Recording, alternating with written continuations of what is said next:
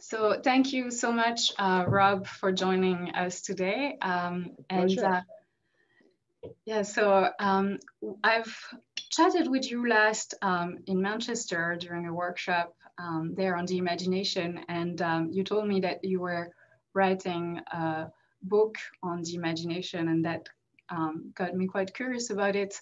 Uh, and for this um, series of interview uh, with the Northern Imagination Forum, we've decided to interview philosophers uh, that uh, are working on the imagination and related topics about their work in progress concerning um, up-to-date uh, research that might be of interest to members uh, watching this interview uh, at home.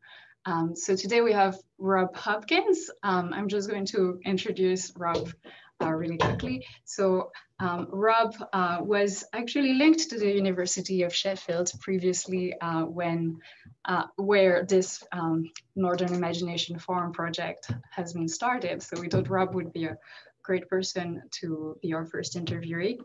Uh, and currently Rob um, is a professor at NYU. He has been honorary secretary of the Mind Association, president of the European Society for Aesthetics, and is currently a trustee on the American Society for Aesthetics.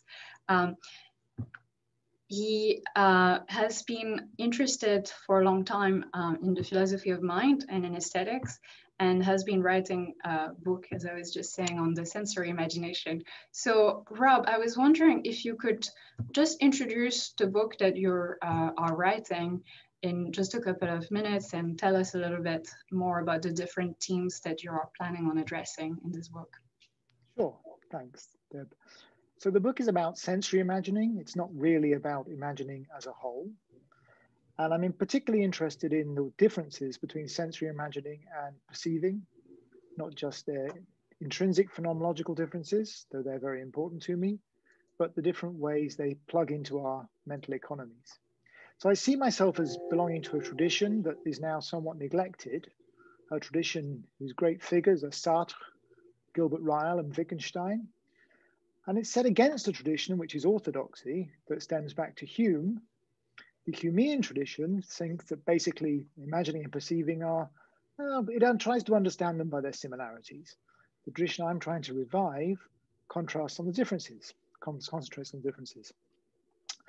So, to that end, the book will discuss various themes. I will, unfortunately for me, and perhaps for my poor readers, have to offer something of a partial theory of perceiving in order to provide a foil against which to set imagining. But most of the book will be about imagining and how the resources I've tried to trace in the context of perception are applied very differently there. So, some themes I'll talk about are uh, the following, that uh, both perceiving and knowing involve sensory, sorry, both perceiving and imagining involve sensory knowledge. That's to say they involve ordering sensory input via something that counts in some loose sense as knowing, but that, that those resources are put to very different effect in the two contexts with a very different upshot. That in a way is the heart of the theory of the book, though I don't think it's what we're going to concentrate on today. Uh, downwind from that, I want to explore such themes as our knowledge of our own imaginings, about which I'm not very optimistic. I think essentially, if it's there, we know about it in some sense of know. And uh, the knowledge we can gain from imagining, which may be our topic today. That's up to you, I suppose, Deb. Mm-hmm. And I also want to talk about, uh, in the book, about the role of sensory imagining in memory, particularly experiential memory, which essentially I think just is imagining, sensory imagining, put to a specific use. And towards the end of the book, I hope to talk about the role of imagining in aesthetic and affective engagement. But all the way through, I'll be trying to argue that it's only too easy to assimilate sensory imagining to perceiving, to think of it as playing loosely similar functional roles in relation to things like emotion and memory, and then in fact, its, its role is very different. I'll be looking for differences wherever I can find them. Great. Yes, I had a little snapshot of that, and that was really interesting. There's a vast area of there there's a really vast area of topics that you're covering in the book, and it, it's really quite an exciting project. So I really look forward to reading more of it. Um, so I had a look at a chapter of the book on indeed imagination um, and knowledge. So yes, indeed today we'll, we'll ask you a couple of questions about that. But before that, um, we're an informal forum. So I wanted to ask you about um, what got you thinking about the imagination? What, why you thought initially that that was an interesting topic of research? Well, my early work was, and some of my current work still is, on pictures, external pictures.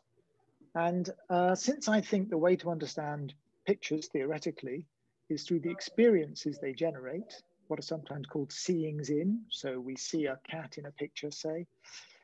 Uh, and since that is a kind of visual presentation of a cat, in this case, but it's very different from the visual presentation you get if you see a cat face to face, it's fairly natural, at least it was natural for me anyway, to complete the triad by turning to the other prominent kind of visual presentation one might have of a cat or anything else, i.e. visualizing one.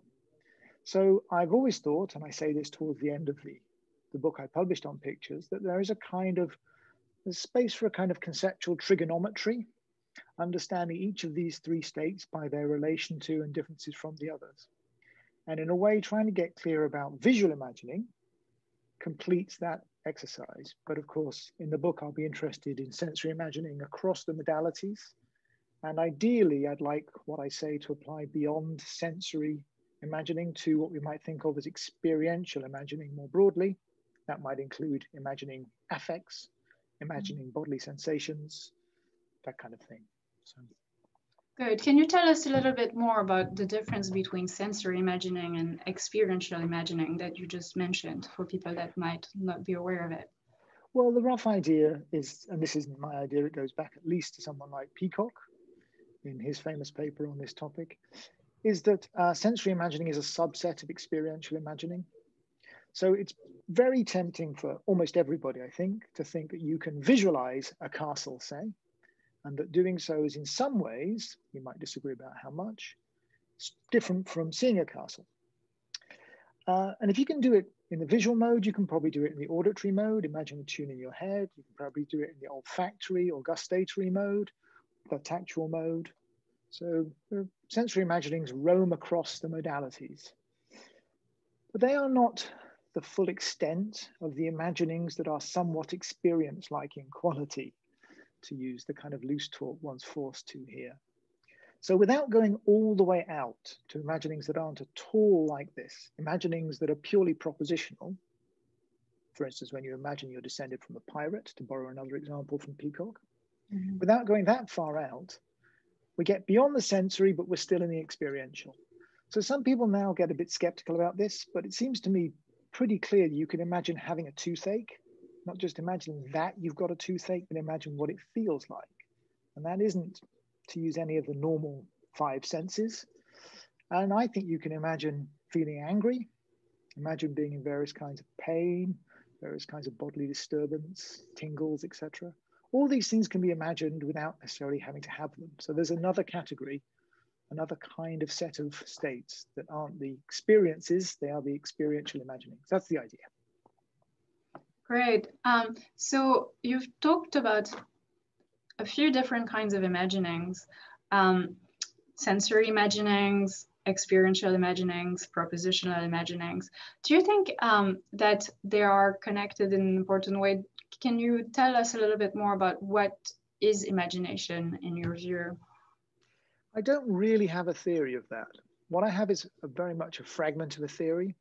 So hmm. uh, when it comes to the sensory imaginings, what I think is that we um, take something like the knowledge we use to order perceptions. So for instance, the knowledge you have of the way this thing over here would look if you were to view it from the other side, given that you see it as a cube, right? that kind of knowledge. So you're seeing it, but you're not just seeing it as a facade, you see it as a cube. That involves something that we might think of as knowledge of what it will look like from the other side. That kind of knowledge is deployed in imagining too, I think. Mm. But it's deployed in a very different way. In perception, you have an expectation about how the thing will look from the other side.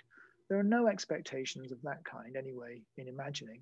As Sartre said, if you were to rotate the visualized cube in your head, you'd be wasting your time if you did it in order to find out what the other side was like. If it's already a certain way, you already know what it's like. So we can't be dealing with expectations. Instead, we're dealing with something that I think of as commitments. Mm-hmm. You undertake, given that you're doing this now, to do that then, and that's how you manage to visualize a cube. And these commitments are somewhat like the kind of commitments you undertake when you tell a story. So if you begin a story, once upon a time there was a frog, you're going to have to deal with the frog as you go on. The frog may turn out to have been a prince all along, but there still was a frog that at one point was a prince. You can't just get rid of the frog without incoherence. And somewhat analogously in sensory imagining. So there is an important connection between sensory imagining as I'm thinking of it and another phenomenon that is pretty clearly imaginative, and that's to say the phenomenon of telling a story. So something like that is the very fragmentary theory I have of what links these things together. And if pushed further, I would try and tie everything else that we consider to be imaginative uh, up with that same thread, but I'm not saying that would be easy. Good, that's, that's really informative. Um, could you tell us a little bit more about what it means to commit um, to to a particular aspect and how that's different from expectations. So you mentioned that difference, and I I read the um, the detailed sort of summary of of how that's playing a role in in the chapter, but I'm wondering if that might be a little bit unclear to some of the people who don't have that background knowledge. Sure. Well, I, commitment is in a way a term of art, and to some extent, the notion is brute for me. But it's um, one way to think of it is by analogy with a storytelling case. So if I start a story in a certain way, I'm laying out how things will have to go if I'm to keep telling my story. Nothing forces me to, of course. I can stop telling the story. I can start telling a different story, or I can, in Borgesian mode, just tell a very, very strange, incoherent story. Mm-hmm. But there's something, it's not really a norm in the imaginative case, but there's something that we, for now, we could just think of as a norm of storytelling that sets, commits me to carrying on in the same way. And something like that is going on when I visualize a cube. I bring to mind one of its facets, but if it's to be a cube and not just a cube facade, then I need to do more than that. And my thought is that what I do is undertake commitments, something like the sort of promises I make to myself when I tell a story to carry on in a certain way if I were to imagine a thing rotating. Something like that is probably all I can usefully say for now, I think. Right. That's that's really good. That's a really yeah nice analogy, uh, and I think it, it drives the point a little bit uh, further home. So um, you've mentioned um, that imagination and perceptions are related but fairly different, and they differ in their phenomenology in important ways. Um, can you tell us a little bit more about how you've already mentioned a couple of things um, so far, um, but but in the book you, you'll obviously unpack that a little bit more. What are key differences that you think um, people should be aware of? Well, there's really they really fall into two main categories. One stems from the difference between expectations and commitments. So they have upshots, I think, for one's epistemic relations to one's own states. It's not possible, as, as the example from Sartre suggests, to find out that what I was imagining was a cube, whereas it's certainly possible to find out that what I thought to be a cube I was seeing is in fact not one. That's one major strand of differences. But the knowledge I've talked about, knowledge of how cubes look differently from different angles, that's only part of what's going on in imagining it's got to be applied to something if it's to yield a phenomenologically rich state. So just stepping back a bit here, my inspiration here in a way is partly something that Ryle says. So Ryle says, and here he leans on a distinction from Kant, that sensing, perceiving the world, involves sensation, sensory input, we might say, and a kind of ordering of it under concepts or something like that maybe not concepts, but some kind of rules. Ryle says that Hume and his ilk think that imagining is the sensory bit reproduced. He thinks they're completely wrong. It's the knowing bit redeployed. As he puts it, there is nothing like sensation, by which I think he means anything that was like sensation, as on Hume's view imagining would be, would just be a different kind of sensation. I think that's what it means by that. Now, I'm with Ryle on the thought that the knowing is very important, but I'm not with him on the thought that it is all important. In the end, brilliant as Ryle's theory is, I think it fails because it won't give any role for anything sensation like in his theory of imagining. So I have to make a major concession to the Humeans if my theory is to be any good, and that is to accept there is something sensation like involved in imagining. And that is, the, the, if you like, the input on which the knowledge operates in the imaginative case. But it is, although it structurally plays the same role as sensory input in the case of perception, it is very different. And it's something I call conjuring.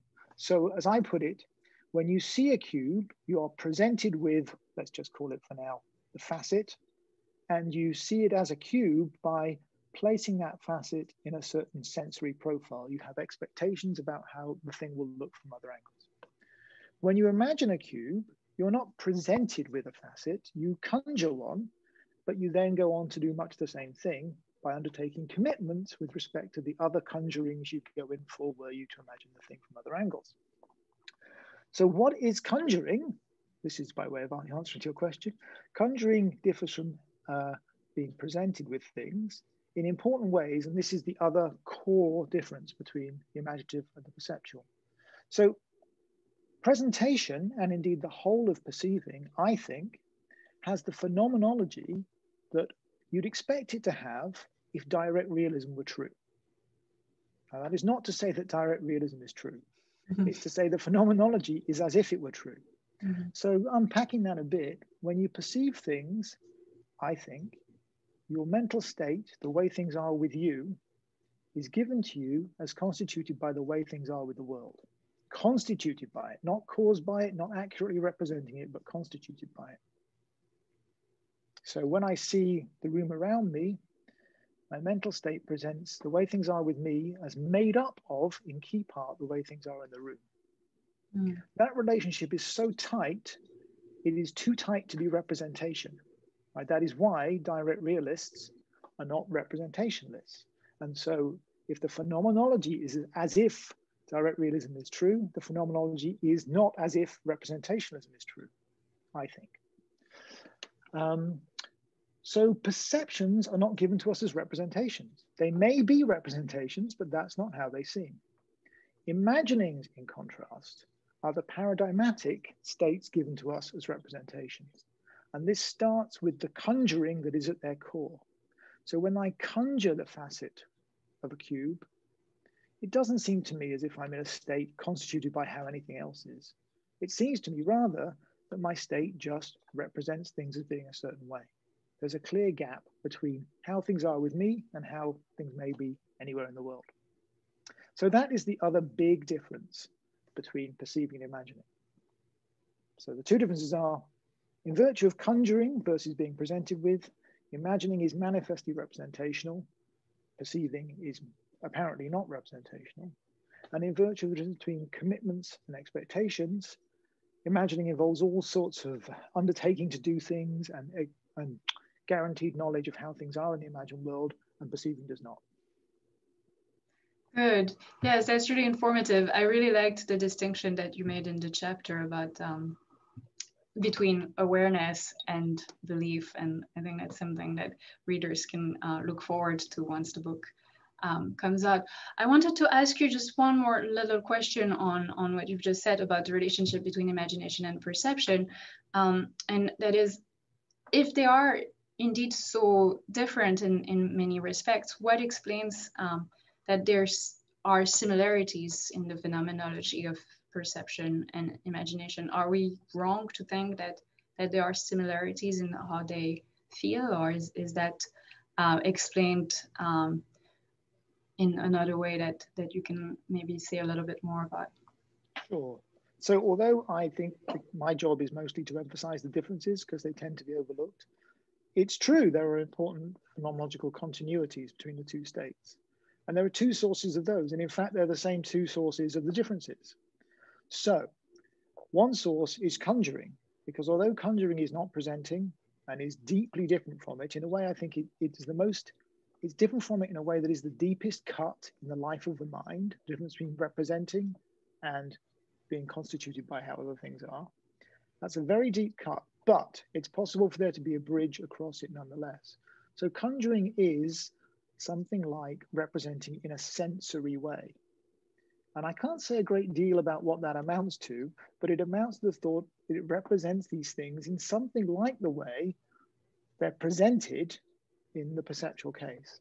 So here actually I'm, I'm tempted just to lean on some work by Dom Gregory, since Sheffield is in the air, and say I agree with him that imaginings are sensory representations in the sense he carved out. That's to say, they pick things out by the way it's like to experience them.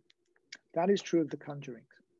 So that gives you one important continuity. The other continuity comes from the other major factor in my theory, the deployment of sensory knowledge, because it is sensory knowledge. And that's not just a label for it. Think about what this knowledge does in the case of perception. When you are presented with the facet that you see to be the face, face of a cube, it doesn't look to you just the same as it would if you were neutral about what this thing is. Your experience is transformed. This facet now looks like it's the front of a cube, not the front of a trapezium or mm-hmm. anything else it might be. So there's a shift in phenomenology, and that shift is driven by you're applying the sensory knowledge I'm talking about. And just the same shift occurs in the case of imagining. It's operating on a very different input, on a conjured facet, not one that is presented to you, but the shift is much the same. Instead of simply visualizing a facet, you now visualize a cube. And there is a real shift in phenomenology there that is strictly analogous to the shift in the perceptual case. Good. Do you want to see a little bit more or did I interrupt you? I hope. No, okay. that's fine. No, okay, I think good. I've shot my bolt on that one. Great.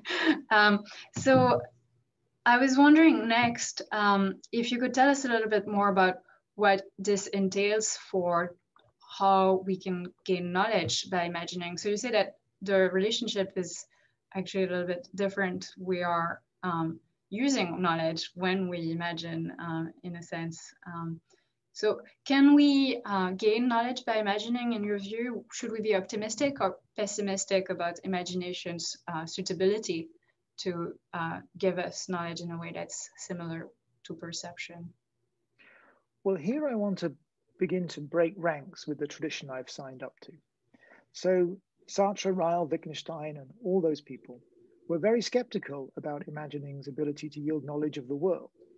And they were so mm-hmm. because at root they thought, well, um, there's no room for gaining knowledge of what one's imagined. They thought that imagining is self intimating, if you imagine a content, then you're aware of that content. Now, I want to accept that last claim, but I don't want to accept that as a result, you can't use imagining to learn about the world. So I don't know if I'm exactly um, one of the biggest proponents of the thought that imagining can teach us about the world, but I think it's important to concede that sometimes it can and to understand how it does when it does. And when one's got clear about that, one will be in a better position to see just how often it can do it, I think. So yes, I'm optimistic in your terms. Okay. Great. It's, it's, that I think would be very good news to a lot of people watching the video. Um, so um, in the chapter I read, you um, drew a distinction between three different models uh, of how imagination might give us knowledge. Um, and you're quite critical of these models in many in many ways. You present objections to them, and and um, they serve, I think, to introduce a little bit how people have previously thought about about how imagination might give us knowledge. Could you tell us more about um, those three different models um, and and why why each of them might seem plausible? Sure. So there are three models, and essentially, I I endorse one of them and reject the other two, just to mm-hmm. putting it very crudely, because the model I endorse is surprise, surprise, the model that is uh, on which you can see how the theory of imagining I'm offering could yield knowledge of the world. So it's there's a route from my theory through to knowledge of the world. contrary to the tradition to which I'm signing up, uh, that goes through this model. The other models don't allow that. So my, my dialectical task is to try and persuade you that of these three models, uh, only one of them ever applies, basically. Mm -hmm. So here are the three models. Uh, the first model we can introduce as an example. Suppose I ask you to uh, tell me how many sides there are on a, uh, a pyramid that has four sides as its base. How many sides are there in all? So one way to answer that question is to imagine the pyramid and then to count them. And that naturally suggests the following model of learning from imagining. So we're learning something about pyramids here, four-sided pyramids with four-sided bases. We're learning something about them, about the world, therefore, the world of geometry, as it may be. Uh, how are we doing so? Well, the, that example naturally suggests the following, which I call the scrutiny model. You imagine the thing, the thing you were supposed to, and then by attending to it or scrutinizing it, or in this case, counting, you find out something about the thing you've imagined. So that's the first model. Here's a different model, different example. Wittgenstein said there are no brown lights. Is Wittgenstein right? Actually, if you've seen the Empire State Building, which has an extremely fancy lighting system, it turns out he's wrong, but never mind that. Just suppose you try and settle it for yourself. The one way you might do it is, of course, famously by just trying to imagine a brown light. And you might think, well, if I succeed, there is can be such a thing, and if I fail, quite possibly there can't be. Now, never mind about whether this is a good way to answer Wittgenstein's question. Never mind the many worries people have had about whether imagining is a good guide to the modal in general. It suggests a completely different model for learning about the world, in this case, the modal world, through imagining. Because the thought is not that you imagine something and then inspect it to see if it's a brown light. The thought is surely you just have a go at imagining a brown light. If you succeed, you know. If you fail, you know but there's no gap between you, what you imagine and your awareness of what you're imagining. So that's a completely different model of learning about the world. You learn about the world by trying to learn according to certain specifications, but you know what you've imagined, whether you've succeeded or not, straight away. Knowledge of imagining comes for free, as we might put it.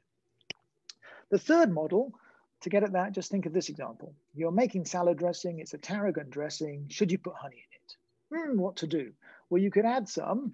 I mean, you shouldn't pretty clearly, but anyway, you could add some honey and see how bad it is, or you could add it in imagination and see in imagination what the effect is. And the natural way to think about this case is that you imagine the dressing with some honey in it, and then actually, not imaginatively, but actually respond with pleasure, displeasure, confusion, distaste, repulsion, whatever it may be, to the thing you've imagined. So that's a little bit like the scrutiny model, but only a little bit. So it's it's not got success or failure isn't quite written on the face of the imaginative project here, unlike the modal model. You've got to do something with what you've imagined, but you don't have to scrutinize it to see how it is. Rather, you take how it is and then actually respond to it affectively with pleasure or otherwise. So I call that the response model of imagining. Now, if you remember, my goal was to agree with Ryle and co mm-hmm. that we had knowledge of our own imaginings uh, for sure. There's no gap between imagining and being aware of imagining, to speak a little bit more carefully. But nonetheless, we can learn about the world. And you can see how the modal model would allow me to have both those claims. If things work on the modal model, on the lines of the modal model, then we could see how. And of course, I'm not suggesting that such knowledge would be limited to modal features. We could learn about all sorts of things this way. We just try to imagine according to a certain specification, and success or failure yields the knowledge we see. So I need to try and persuade people the modal model is the only game in town. It's not so important to me to exclude the response model, though I do think it goes with that general orthodoxy of assimilating imagining to perceiving, and so I would like mm -hmm. to reject it. But I must resist the scrutiny model. And so in the chapter you read, that is mostly what I'm trying to do. Mm-hmm. Yes, one thing I really liked is that you you really um, criticize or at least offer potential objections to all of these models, including to the model that that you favor um, yourself. One one um, point that uh, you investigate um, involves looking at examples that seem to suggest that there um, in fact can be such a things as what you call uh, unconscious imaginings, which is a shortcut for something more precise. Um, so I was wondering if you could tell us a little bit more about uh, a claim that's relevant to that that you make. Um, so you, you say uh, that there is nothing uh, we imagine that eludes primitive awareness um, in, and nothing in primitive awareness that eludes belief uh, at some point in the chapter. Um, can you tell us a little bit more about, about that? What, what would it, um, why would people think maybe that there is such a thing as um, unconscious imagining or um, imaginings of which um, we lack awareness? W why is the scrutiny model um, seemingly so plausible to some? That's a good question. In a way, you'd have to ask them, I think. But um, here's what they're right about. It is possible to imagine things being a certain way and not to believe that that's how you've imagined them. So that's what's going on in the pyramid case, I think. The pyramid case is plausible because you can indeed imagine an eight-sided figure, but that is the right answer, I believe, uh, without yet believing that the figure you've imagined has eight sides. And when you count them, whatever that amounts to, you come to that belief for the first time. So you're learning about the pyramid, the real geometrical figure, by learning about the thing you've imagined, which is indeed an instance of that figure. But that you can acquire belief does not show that you can acquire, does not show that there was no awareness you had beforehand of features of the pyramid. Uh, so in general, belief, be it perceptual belief or belief driven by imagining, is grounded in some other kind of awareness. It doesn't just pop into your head from nothing. You form beliefs on the basis of what we might very loosely call experience. This is obvious in the perceptual case. And if that's true there, you'd expect it to be the case in the realm of imagining too. So before you can count the pyramid's sides, you must be aware of them in some more primitive way. And so the question arises, accepting that you didn't all along believe there were eight, were you nonetheless all along in that more primitive way aware of the eight? And to that question, I want to answer yes, you were. And so for every other aspect of every imagined content. In this primitive way, if you imagined it, you were conscious of it in this primitive way. That's the thought. Mm-hmm. Now, the pyramid case is slightly confusing in this respect because um, you can believe there are eight sides and you could be primitively aware of each of the eight sides, but it's not very clear what it would be to be primitively aware of the sides as eight in number, if not believing there are eight in number. Think of just seeing a pyramid, right? You can see each of the sides, you could count that there are eight, but can you see the eight as eight? I just, I don't know what to say about that. So mm. we hmm. may have to change example here, but other examples will, will focus the, the case nicely. So uh, here's an example from Pinker and Finke and such people. If you imagine a D, a capital D, put it on its side, and then put a capital J beneath it so that the upright of the J is in the middle of the D, what have you got? Answer? An umbrella. Well, more accurately, a picture of an umbrella. Right? Oh, you, yes, that's you right. Have not, you have not imagined a world in which letters could be used to keep off the rain. You've imagined a world in which letters can be arranged to form a picture of something that keeps off the rain, I think. Um, so look, there you might say, well, when I first joined the two, there was already an umbrella, a picture of an umbrella, but only a, maybe only a moment later, it took a moment for me to see, in inverted commas, i.e. become primitively aware that there was an umbrella. Now that is a good case for us to argue about. I'm going to claim there was no moment at which you had imagined a picture of an umbrella where you weren't primitively aware that there was a picture of an umbrella. And the defender of the scrutiny model may say that's not right. There was such a moment. So I need to I need to describe this case in ways that may that seem plausible. I'm not saying what I'm just laying it out doesn't do that. But that's that's the issue. So the claim no unconscious imagining is the claim that for any aspect of any content you imagine, you are primitively aware of that aspect of that content. Great. Um, I think I will end uh, the interview on, on this note because it, it gives a good um, impetus for people to actually go and read the chapter in the book when it comes out um, and find out more about what you make of the umbrella case, which uh, which is quite a nice case. Um, so thank you so much, uh, Rob, for your time today and for doing this interview uh, with us. We're Thank still you. experimenting with That's the format. Great. Thanks, Deb.